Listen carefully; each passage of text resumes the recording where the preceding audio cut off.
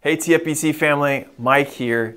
And it's amazing to think that this Sunday we're going to eclipse our eighth week of TFBC at home. I wanted to give you a quick update on what we're thinking. You know, we all get a sense that we're probably past the peak and worst of the COVID 19 crisis, and that some semblance of life as we once knew it could be coming back on the horizon. However, life is going to be different for a while, and our church is going to be different for a while. But we're still TFBC, and our vision hasn't changed. We are still a neighborhood church where anyone can take a next step towards Jesus. And our mission hasn't changed. We're a spiritual home to belong to, to be known, to be heard, to be loved, and pushed closer to Jesus. And we're still being developed through relationships. You know, we're socially distancing, but that doesn't mean we have to be spiritually distancing. And it's been so awesome to see so many people connecting virtually. We've had so many Zoom groups of students, men, women, couples, celebrate recovery, grief share. Many of you are doing conference calls, phone calls, group emails. And we're still serving to change the world.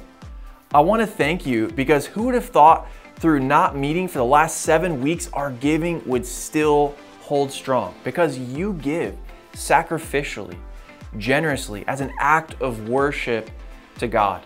And because of that, we've been able to meet needs. We've met needs within our church family and in the community.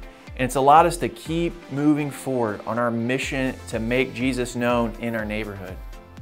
You know, I've also heard of so many of you who've been having gospel conversations with your neighbors, with your friends, with your family, who are more open now than ever to talking about spiritual things. TFBC, every morning service, we used to end with the charge to be the church out there. And that's exactly what we've been.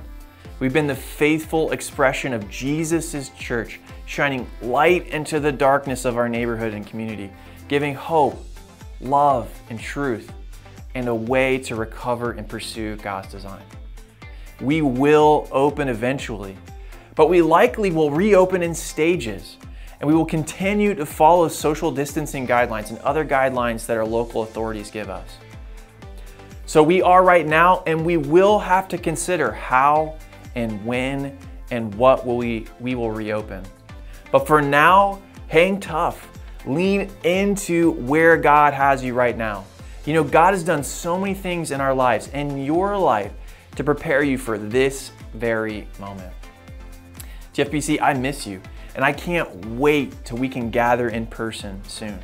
But for now, let's keep moving to align our life with God's design where He has us now. And I look forward to worshiping with you at home this weekend soon.